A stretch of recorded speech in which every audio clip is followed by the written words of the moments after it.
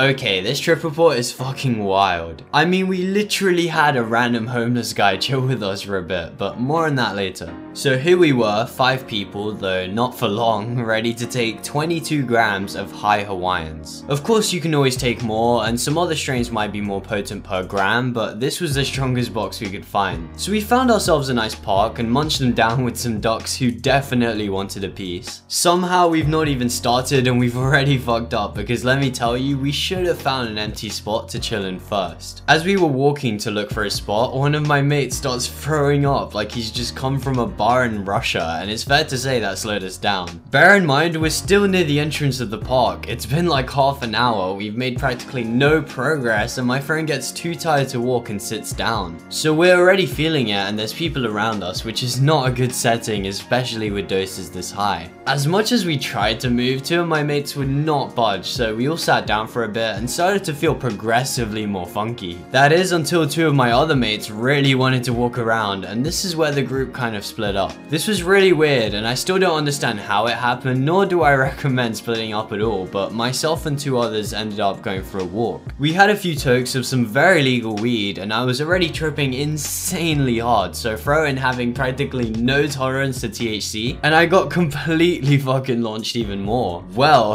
after a one minute walk that felt like half an hour, we see our two mates with a speaker playing music. And with them, a third individual who seemed to like our music and had decided to join us. Turns out it was an old homeless man, so we all sat down and had the most awkward telepathic conversation I've probably ever been involved in. He kept trying to start conversations, but between trying to understand English and trying not to laugh because what he was saying was kind of depressing and I didn't want to be rude, it was a pretty strange and hilarious situation. This weird atmosphere atmosphere of trying to limit my laughter though made me realize something really profound about myself, which is that I'm always limiting my happiness as to conform to social norms and everyone does this to an extent. Once I realized that there's really no reason to limit my own happiness to fit in, I started getting the shroom giggles, which essentially felt like God was fucking every pore of my skin with a 9 inch dildo made of love. Even that doesn't really come close to describing it. I closed my eyes to meditate and I literally felt like I was on DMT. There was this presence or entity or aliveness to my visuals and it was communicating with me. It literally felt like the exact same entity that I've met many times on DMT. I mean, I literally wouldn't have been able to tell them apart if I tried. My closed eye visuals were basically made up of this massive smiley face that was every color at once and seemed to reflect how I felt at the time. It used facial expressions to communicate things to me and it seemed to really enjoy reminding me that one day I was gonna die and it could in fact happen right now, so I might as well just accept it and die now. When I accepted it, it morphed into this door which I passed through, aka ego death, and there were hundreds, thousands, billions, I don't know, of these smiley faces that all started to hug me. Finally, the friend who wouldn't budge from where we were, which by the way was still covered in people, needed the toilet, so that was our new mission. One of my other friends also threw up, but he said he felt a lot better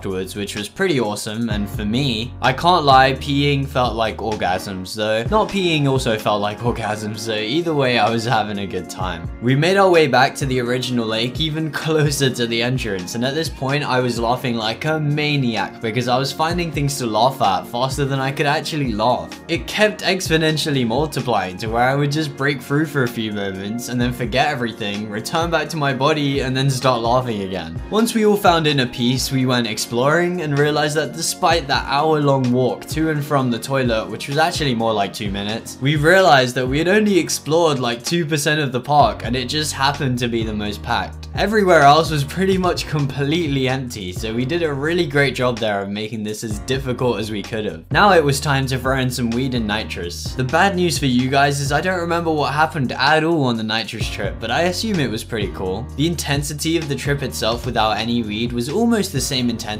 maybe just a little bit less than my previous 3 gram mushroom dose, and I'm honestly glad it didn't go further than that. There were some really intense moments in that trip for all of us. During the come up, I got really anxious watching my friend throw up and having all these people everywhere. Before we had even peaked, two people had approached us already. A crackhead who wanted to talk about his heroin addiction and a girl who didn't know how to roll backy. With come up anxiety in full force, I literally told myself I would never trip ever again though. To be fair, by the end of it, I already wanted to smoke some DMT. I hope you can learn from our mistakes because it's not necessarily fun to have to make them yourself. I had a really insane experience in this trip, which I talk about in this video. It involved clown faces in the grass laughing at me and teaching me how to behave, so if you're interested, check it out. Otherwise, hit that like button for me and subscribe if you want more trip reports like this one.